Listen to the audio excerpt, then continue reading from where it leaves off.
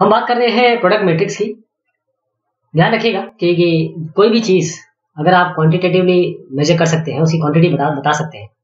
जैसे आपका एग्ज़ाम होता है और आपके क्लास के जितने भी स्टूडेंट्स हैं आपके कॉलेज के जितने भी स्टूडेंट्स हैं आपके स्ट्रीम के उनको मार्किंग दी जाती है। जैसे आपके मान लीजिए एट्टी नाइन आ गए हंड्रेड में से और किसी के आगे एट्टी एट आ गए हंड्रेड में से।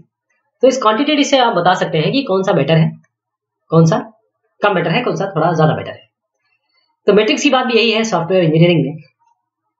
अगर आप मेट्रिक्स या फिर कैलकुलेशन कर सकें तो आप अच्छा सॉफ्टवेयर इंजीनियरिंग का प्लानिंग कर सकते हैं, उसको अंजाम तक पहुँचा सकते हैं, एक अच्छी तरीके से ट्रैकिंग कर सकते हैं कंट्रोल कर सकते हैं, और चीज़ों को और अच्छा बनाया जा सकता है।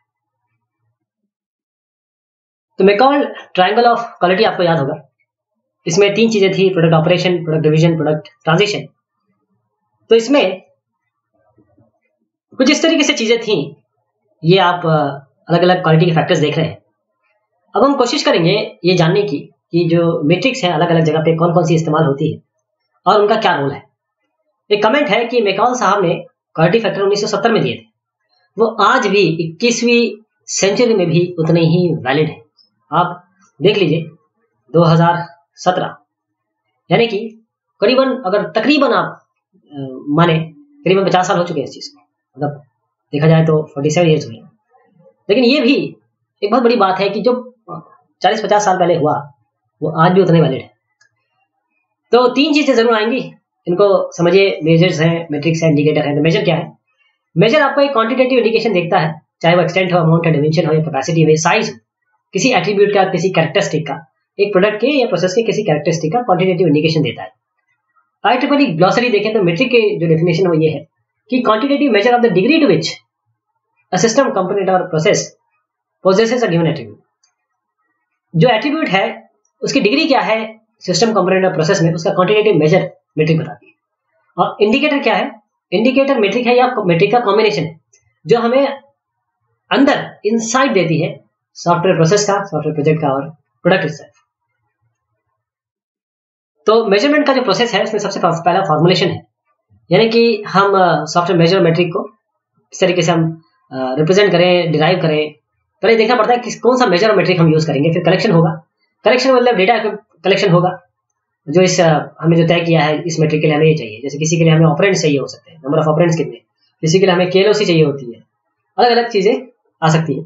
फिर एनालिसिस करेंगे मैट्रिक्स को कंप्यूट करेंगे और अगर आपके पास टूल्स है तो उसको अप्लाई करेंगे। इंटरप्रिटेशन करेंगे, जब एक बार हमारे पास मैट्रिक्स आ गई तो हम उस मेट्रिक से देखेंगे क्वालिटी कित क्या क्वालिटी है?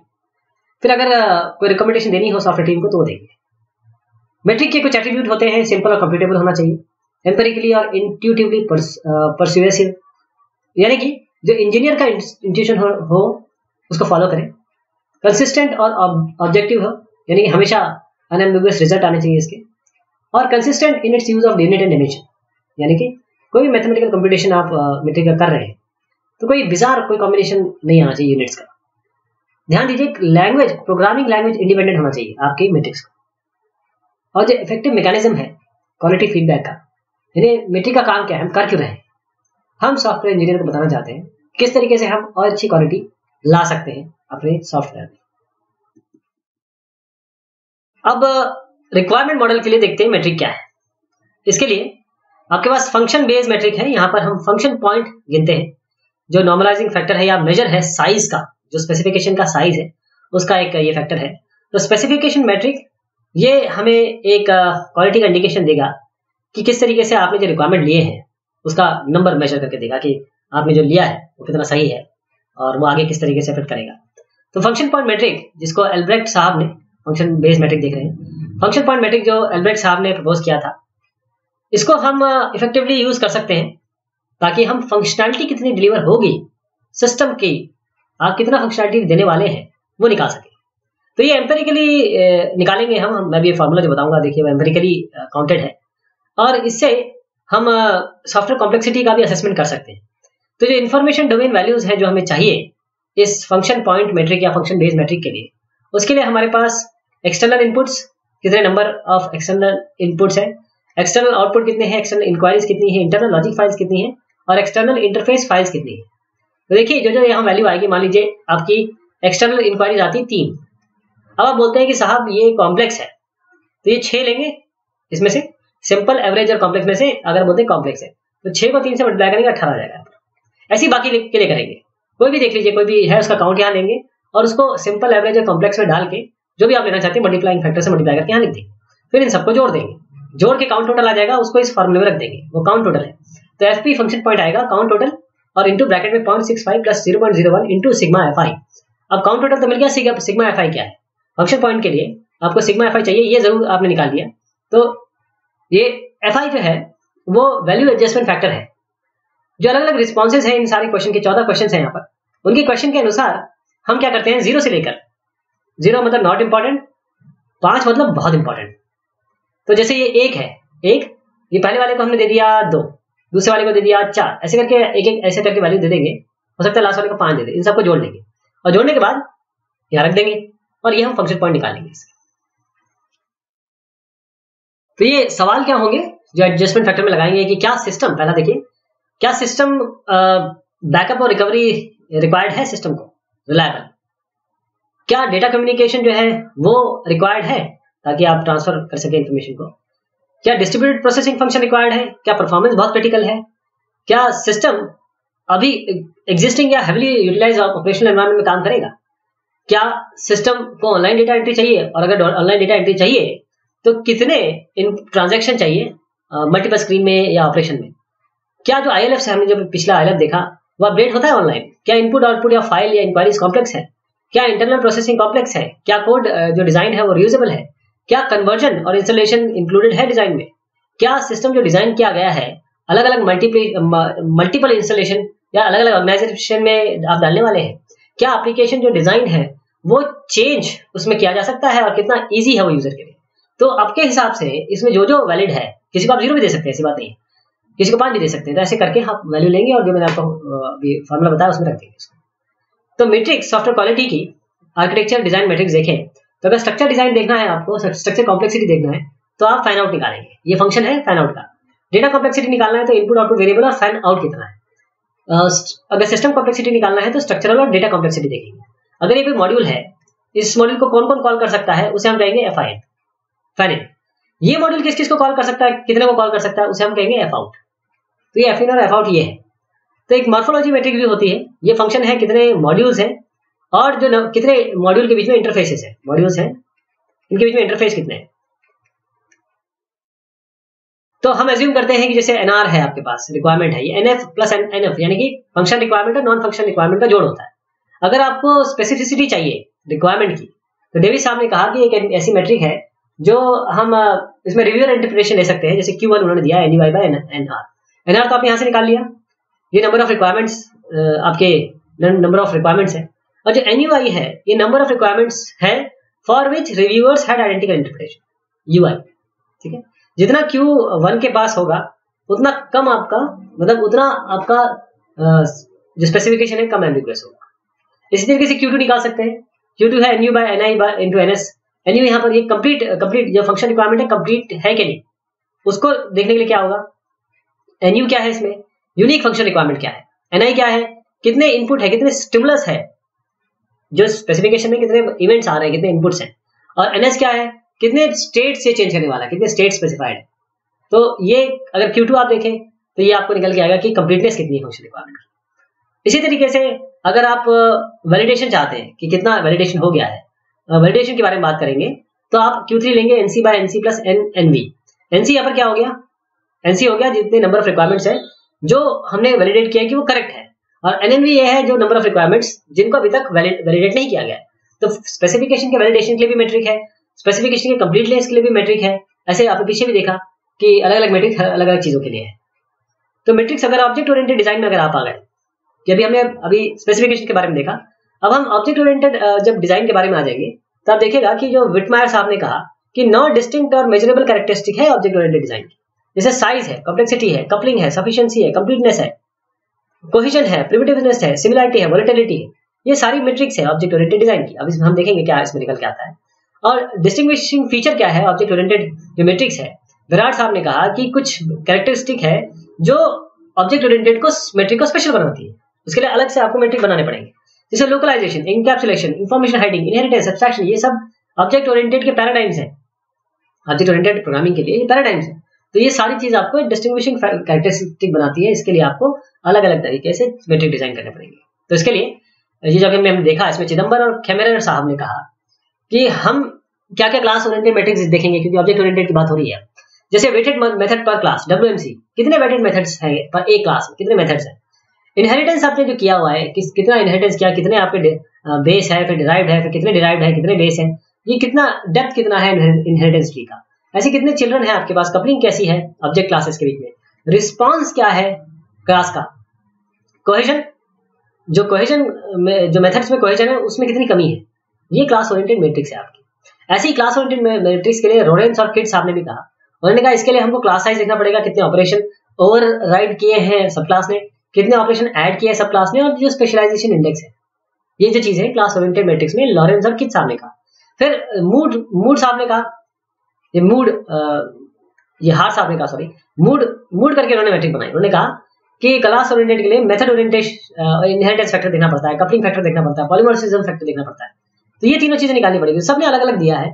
आप किसको अपनाते हैं आपके ऊपर है तो लॉरेंस और किड साहब ने जैसे अभी देखा, इन्होंने कहा कि एवरेज ऑपरेशन साइज़ क्या है ऑपरेशन की कॉम्प्लेक्सिटी क्या है, कितने average number of operation parameters है पर ऑपरेशन ये भी ऑपरेशन ओरिएंटेड मैट्रिक्स में आएगा। ये किसमें आएगा? अभी तक लॉरेंस साहब का हमने देखा था क्लास ओरिएंटेड मैट्रिक्स अब उन्होंने कहा ऑपरेशन ओरिएंटेड मैट्रिक्स तो कितना ऑपरेशन साइज़ है ऑपरेशन कॉम्प्लेक्सिटी क्या है, कितने number of operation per average number of parameters per operation है। फिर हम कंपोनेंट लेवल डिज़ाइन मैट्रिक्स में आते हैं कंपोनेंट लेवल डिज़ाइन में तो मॉड्यूल सेंस की कोहेजन कितनी है? कपलिंग कितनी है? कॉम्प्लेक्सिटी मैट्रिक्स ये जिसको जिसको सबसे ज़्यादा यूज़ होता है साइक्लोमेटिक कॉम्प्लेक्सिटी तो ये बहुत सारे प्रपोज हुए हैं, इसमें कॉम्प्लेक्सिटी साइक्लोमेटिक कॉम्प्लेक्सिटी मेगा पे सामने दी थी तो कोहेजन कपलिंग और कॉम्प्लेक्सिटी ये तीन चीज़ कंपोनेंट लेवल डिज़ाइन मैट्रिक्स में आती है। तो डिज़ाइन मैट्रिक अगर वेब ऐप की बात करें तो इसमें कुछ सवाल पूछने पड़ेंगे आपको। पहला, कि क्या यूज़र इंटरफेस यूजेबल है? क्या एस्थेटिक्स जो वेब ऐप के हैं, वो अप्रोप्रिएट है, जो डोमेन के हिसाब से है यूज़र को अच्छे लग रहे हैं प्लीजिंग टू द यूज़र जो कंटेंट आपने डिज़ाइन किया है, वो वो इन्फॉर्मेशन दे रहा है कि नहीं दे रहा है, कम एफर्ट लगा के? क्या नेविगेशन एफिशिएंट है और स्ट्रेट फॉरवर्ड है? क्या वेब ऐप आर्किटेक्चर जो आपने डिज़ाइन किया है, वो, जो स्पेशल गोल्स ऑब्जेक्टिव्स है वेब ऐप यूज़र के लिए, वो आपने दिए कि नहीं दिए? स्ट्रक्चर कंटेंट फंक्शनलिटी का क्या है? और जो फ्लो है नेविगेशन का जो रिक्वायर्ड है, वो सिस्टम इफेक्टिवली यूज़ कर रहा है कि नहीं कर रहा है? जो कंपोनेंट डिज़ाइन किए हैं आपने, वो प्रोसीजर कॉम्प्लेक्सिटी को कम कर रहे हैं या बढ़ा रहे हैं? करेक्टनेस को रिलायबिलिटी का परफॉर्मेंस को? तो ये इंटरफेस मैट्रिक्स है, अगर आप वेब की बात करें तो इंटरफेस मैट्रिक्स है, उसमें ये इतनी सारी मैट्रिक्स है। और इसमें कोई भी चीज़ आप जो आपके लिए इंपॉर्टेंट हो, उसको आप यहाँ से, ये अलग अलग चीज़ें निकाल सकते हैं। जैसे मान लीजिए माउस पिक एफर्ट है तो every number of mouse picks per function ये आप कर सकते हैं, निकाल सकते हैं। ऐसी एस्थेटिक है ग्राफिक डिज़ाइन जो मैट्रिक का है तो जो जो नेचर है वेब का, उसमें एस्थेटिक डिज़ाइन पूरी तरीके से क्वालिटेटिव जजमेंट होता है यूज़र का। और जनरली ये मेज़रमेंट और मेट्रिक इसमें ले सकते हैं। लेकिन थोड़ा मुश्किल होता है नॉट जनरली कहा गया इसमें। आप इसको एस्थेटिक को तो बस देख के पता लगा सकते हैं, लेकिन आयोरी और उनके कलीग ने कहा कि नहीं, हम इसका मेज़रमेंट कर सकते हैं। उन्होंने कहा, ये मेट्रिक है वर्ड काउंट क्या है कलर काउंट क्या है फॉन्ट काउंट क्या क्या है? तो ये अलग अलग उन्होंने कहा कि हम, ये सब डिस्क्रिप्शन है इसका तो किस चीज़ में क्या आपको लेना है वो यहाँ आप देख सकते हैं। ऐसी कंटेंट मैट्रिक्स है। ये मैट्रिक इस कैटेगरी में, वो कंटेंट कॉम्प्लेक्सिटी देखते हैं कि जो कंटेंट है वेब ऐप में, उसकी कॉम्प्लेक्सिटी कितना है। और जो आपने क्लस्टर बनाया अलग अलग ग्रुपिंग बनाए हैं, वो प्रॉपरली ऑर्गेनाइज है कि नहीं पेज में? वो ऐसा बताते हैं, चाहे ऑडियो की कॉम्प्लेक्सिटी है वीडियो की कॉम्प्लेक्सिटी है। ऐसी नेविगेशन मैट्रिक है। अब अगर में तुम नेविगेट करेंगे ही करेंगे आप। तो मैट्रिक इस कैटेगरी में, ये कॉम्प्लेक्सिटी एड्रेस करेगी नेविगेशन फ्लो की। तो चाहे स्टैटिक वेब एप्लीकेशन वैसे तो ये स्टैटिक वेब एप्लीकेशन के लिए है। डायनेमिक डायनेमिक अभी नहीं है, जो लिंक का पेजेस है। तो नेविगेशन अगर हम स्टैटिक का देखें, जैसे स्टैटिक पेज है तो आप देखिए, इसमें page linking complexity connectivity connectivity density ये सब नेविगेशन मैट्रिक में आता है। अब कोर मैट्रिक्स में आए तो कोर मैट्रिक्स ये बहुत इंपॉर्टेंट है यही सवाल पूछे जाते हैं एग्ज़ाम में। कोर मैट्रिक्स की बात करें तो जैसे हेल्थ सीट साहब ने कहा कि उन्होंने कहा कि मैं हमें जो मैट्रिक बनाई है, उसमें हमारा मेन मुद्दा यह है कि कितने काउंट और ऑपरेंस है, कितने बार आ रहे हैं ऑपरेटर्स और ऑपरेंट्स कितने बार ऑपरेटर और ऑपरेंट्स आ रहे तो इस पर अभी भी लोगों का कुछ कहना है। तो हेल्थ स्ट्रीट सॉफ्टवेयर साइंस उन्होंने कहा कि देखिए, अगर हम मेजर करें, कितने ऑपरेटर्स हैं ऑपरेंट हैं, कितने बार ये ऑकर हो रहे हैं, कितने बार ऑपरेंट ऑकर हो रहे हैं। तो इससे हम प्रोग्राम का length potential minimum volume actual volume कितने बिट्स चाहिए होंगे to specify program program level क्या है, यानी कि कॉम्प्लेक्सिटी बता देता है लैंग्वेज लेवल बता देता है। क्योंकि गिवन लैंग्वेज के लिए कॉन्स्टेंट होता है। और और भी फीचर है, जैसे डेवलपमेंट एफर्ट है डेवलपमेंट टाइम है। बल्कि प्रोजेक्टेड नंबर ऑफ़ फॉल्ट भी बता देता है सॉफ्टवेयर देखिए, एक हलस्टीन ने साहब ने ऑपरेटर ऑपरेटर को यूज़ करके कितनी सारी चीज़ बताई। तो उन्होंने कहा कि अगर हम N estimate capital N estimate करें, जैसे N one log N one और N two log N two तो अगर ये एन वन और एन टू आपने कैलकुलेट कर लिए, अभी आपको मैंने बताया कि operator operands number of occurrences है। तो आप वॉल्यूम निकाल सकते हैं। कैसे? वॉल्यूम निकाल सकते हैं capital N log N one plus N two तो ये वी क्योंकि प्रोग्राम इनका जो ऑपरेटर ऑपरेंट पे है तो ये पूरी तरीके से प्रोग्रामिंग लैंग्वेज डिपेंडेंट तो वॉल्यूम ये बताएगा कि कितने बिट्स लगेंगे एक प्रोग्राम के स्पेसिफाई करने में। इसी तरीके से अगर आप वॉल्यूम रेशियो देखना चाहें तो ये L equal to two by N one into N two by N two ये सब हमने निकाल लिए हैं। तो ये इस तरीके से निकाला जा सकता है। आपका मेन जो है, अगर इससे आपको कोई चीज़ लेनी है दिमाग में तो बस ये समझ लीजिए हेल्थ आपने कहा कि ऑपरेटर ऑपरेंट्स को कैलकुलेट करिए, इससे हम सारी चीज़ निकाल सकते हैं। फिर जो टेस्टिंग है टेस्टिंग के लिए भी अलग अलग आपके पास मेट्रिक्स है। जैसे टेस्टिंग एफर्ट ये आप कैसे एस्टिमेट करेंगे? टेस्टिंग मेजर यूज़ कर सकते हैं। या बाइंडर साहब ने कहा कि टेस्टेबिलिटी देखनी है तो हमारे पास कुछ चीज़ें होनी चाहिए। जैसे lack of lack of cohesion क्या है मेथड में? मतलब कोहेजन कितना कम है? कितने परसेंट पब्लिक का प्रोटेक्टेड मेंबर्स हैं? कितने पब्लिक एक्सेस है डेटा मेंबर को? कितने रूट क्लासेस हैं? कितना फ़ैन इन है? कितने नंबर ऑफ़ चिल्ड्रन है? कितना डेप्थ ऑफ़ इनहेरिटेंस है? ये टेस्टिंग के लिए आप मैट्रिक्स यूज़ कर सकते हैं। मेंटेनेंस मैट्रिक्स भी है। मेंटेनेंस मैट्रिक्स मतलब ये है कि जब आप मेंटेनेंस करेंगे सॉफ्टवेयर का तो आई ट्रिपल ने सॉफ्टवेयर मेच्योरिटी इंडेक्स निकाला। उन्होंने कहा कि ये इंडिकेशन है कि सॉफ्टवेयर स्टेबल कितना हो। ये इंडिकेशन बताता है कि सॉफ्टवेयर स्टेबल कितना है। मेंटेनेंस का मतलब तो ये है कि सॉफ्टवेयर स्टेबल नहीं है, तभी आपको मेंटेनेंस करना पड़ता है उसका। तो उसने, उन्होंने कहा एम टी एम टी यहाँ पर है। Number of modules in the current release इस रिलीज़ में कितने मॉड्यूल है? एफ़ सी उन्होंने कहा ये एफ़ सी पहले एफ़ देखते हैं। एफ़ है कितने नंबर ऑफ़ मॉड्यूल्स है आज इस रिलीज़ में करंट रिलीज़ में? कितने ऐड हुए सी वाले कितने चेंज हुए इस करंट रिलीज़ में? डी मतलब कितने मॉड्यूल डिलीट कर दिए गए हटा दिए गए तो कितने ऐड हुए कितने चेंज हुए कितने डिलीट हो गए इन सबको जोड़ दीजिए। एम टी से माइनस कर दीजिए, जो module number of modules current release में है और उसके डिवाइड एम टी से कर दीजिए। तो आपका एस आ जाएगा सॉफ्टवेयर मेच्योरिटी इंडेक्स तो ये अगर एस एम आई वन को अप्रोच कर रहा है, तब आप कहेंगे कि हमारा ये प्रोडक्ट जो है वो स्टेबलाइज होने लगा है। तो ये बात हुई प्रोडक्ट मैट्रिक्स की सॉफ्टवेयर मैट्रिक्स की। बहुत शुक्रिया, बहुत मेहरबानी आप सभी की।